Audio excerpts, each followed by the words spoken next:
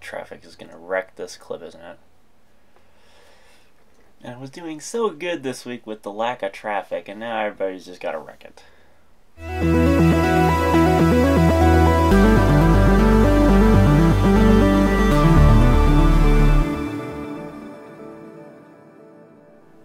Good day folks, Jordan here today with another software overview video. In today's video we're exploring Ubuntu 5.10 Breezy Badger released on the 12th of October 2005.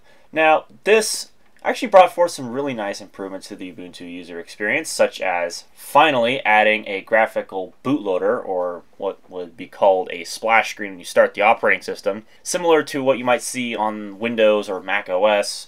Nowadays, of course, you know that was obviously the case back then, but Ubuntu didn't have one until this release.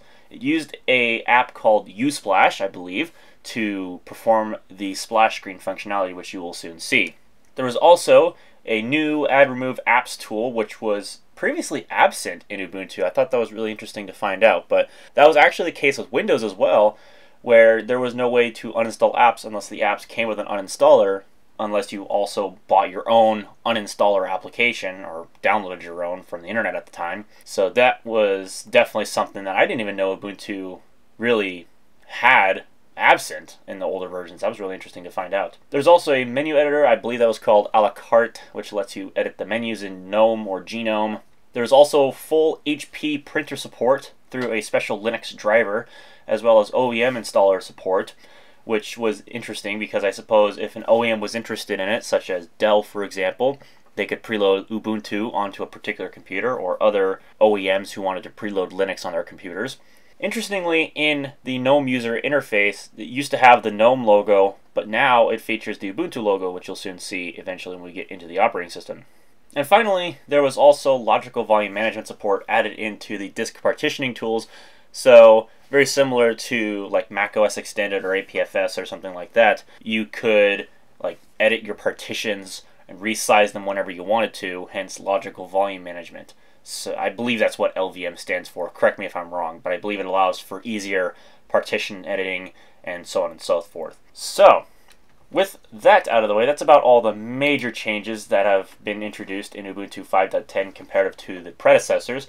So, let's get to installing it now.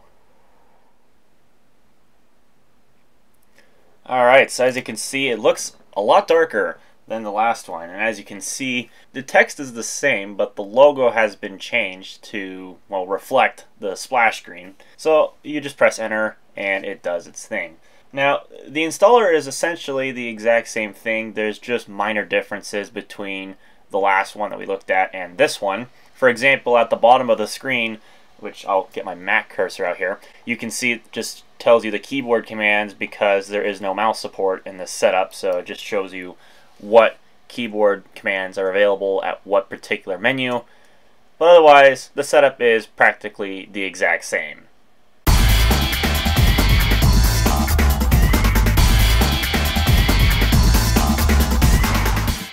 Oh, the traffic is going to wreck this clip, isn't it? And I was doing so good this week with the lack of traffic, and now everybody's just got to wreck it. So as you can see, here is the section of where you can configure logical volume management. There's a separate little option here in the partitioner. Of course, you can edit it yourself manually, but there's just no point. I'm just going to do a tab, go back, and partition disks. And I suppose we'll just do this.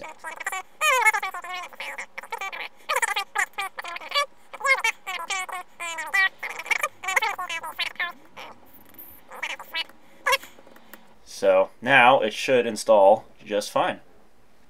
I don't know why I installed, I don't know why I did the partitioning myself. That just makes no sense. But this is just for a video, so you just do everything for the video.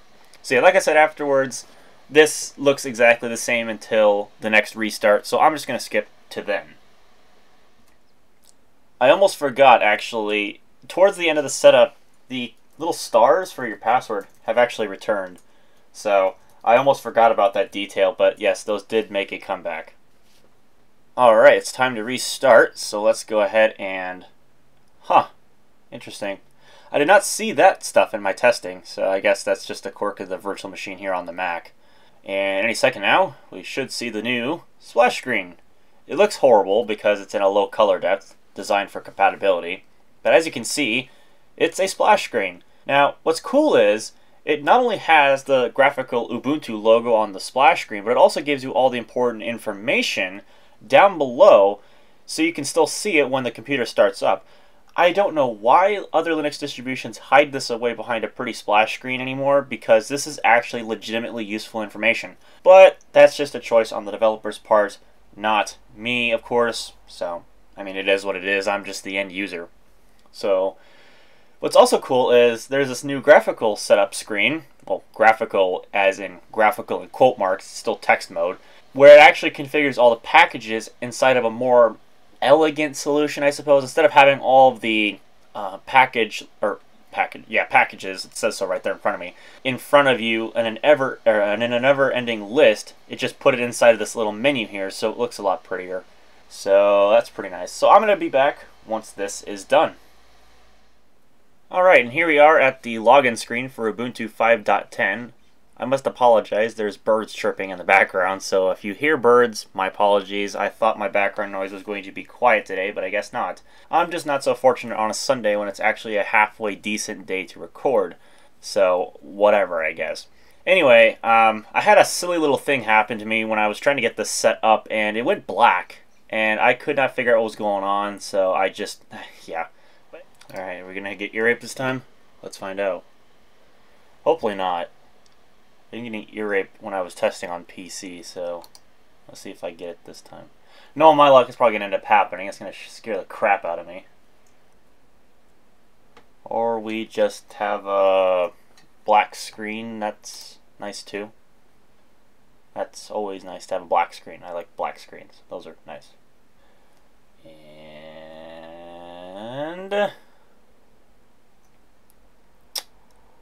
Yeah, I don't think uh, we're getting anywhere. We have a nice black screen and there is no disk activity going on. Uh, that's convenient. Um, we're just going to restart, I think. I think that sounds pretty good. But anyway, we're here now. We're going to go ahead and log in. The login screen looks identical to that of Ubuntu 5.04, so there's no real change there. And of course, the login screen is going to have the same login sound, but the look is a little bit different, so pay attention.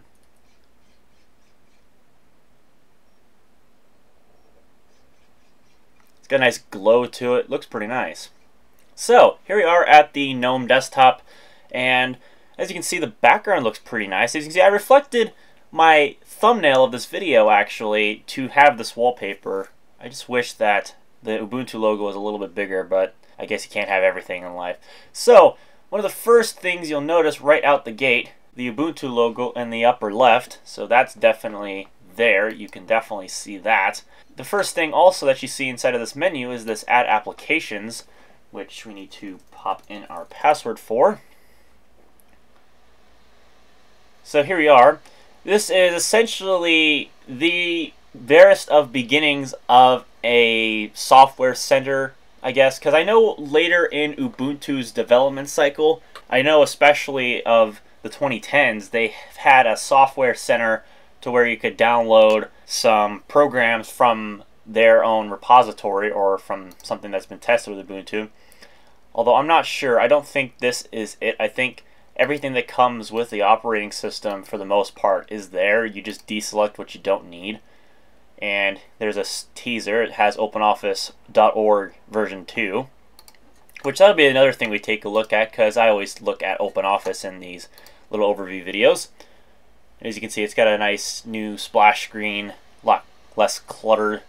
And as you can see, this is version 1.9 for some reason, but version 2, it's good enough gets the job done. Although version numbers really don't matter all too terribly much. Firefox also got a slightly new version. I believe it's 1.5 in this. No, it's 1.0.7. I was thinking ahead of version 6.06, which we'll be taking a look at later, which has 1.5 in it. But as you can see, there is a new splash screen that describes Linux for human beings once again. Essentially, they modified the same exact text. They went into more depth about the whole project and the components of the operating system, the license agreement, of course, and so on and so forth. It talks about how each standard release of Ubuntu gets 18 months of security updates. So that's pretty cool. Evolution got a new icon. It is essentially the same thing. Again, I'm not going to bother setting this up, but the email client got a new icon. And in addition, some of the sound and video icons, I think the volume control got a different one. The Sound Juicer, CD Ripper, and Serpentine Audio CD Creator, I know that for a fact is new. As far as I know, that's new. Um, but otherwise, everything else is essentially the same. Um, GIMP is still here, version 2.2. That hasn't changed, although maybe that's a slightly different version if you were to go into the About panel, but I could honestly care less. And I believe at this stage, there's not really anything too terribly different. I know in 6.06 they changed where the system tools are they change them from applications and they put them over some of them in preferences and some of them in administration. But we'll take a look at that in 6.06 when we get to that point. Otherwise, I believe that's about it because um, other than what you see here, which you pretty much see in any Ubuntu derivative, is this package manager. I believe those are all the major noteworthy changes and improvements other than the LVM like I was mentioning earlier. I believe, what was it that I was going to take a look at? I'll need to look back at my notes. Give me just one second. Oh yes, I almost forgot. It was the menu editor tool. Now in 5.10, it's in a really strange place in the preferences panel. It's just called menus and toolbars. But it's very basic at this stage. I believe there's some other options you can add in here at some point when you want. I know in 6.06 they expand on this, and I'll be sure to show that off when 6.06 comes along. But at this stage, it's a very basic menu editing tool. Um, very basic. But I believe that was it. There's not really too much else that I can see in this that looks any different. Because this also looks about the same. The human circle of friends looks the same. All these other things looks the same. Um, X server settings, interesting. Placing values in the section that your X server does not support will stop your X server from restarting, effectively not allowing this configuration application to be run. Be careful! That's pretty much anything with Linux. If you set anything the wrong way in Linux, guess what? Reinstall the whole operating system. Ha ha ha ha. So, yeah. Anyways, that's about it for this as far as I can see.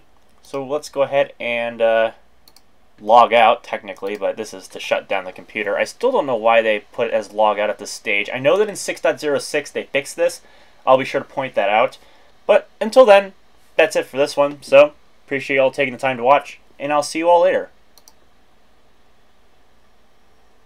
And yes, at this stage there is no graphical shutdown screen, which is kind of a bummer, but they did fix this in 6.06 where you actually had a graphical shutdown screen. It basically just used the same exact screen when you uh, turned on the computer. It uses that very same thing to shut down the machine. But anyway, that's it for the moment. As always, thanks for watching. To not definitely take a quote from Techmoan. But, whatever. Anyway, that's it for now, guys. Thanks for watching. I'll see you all later.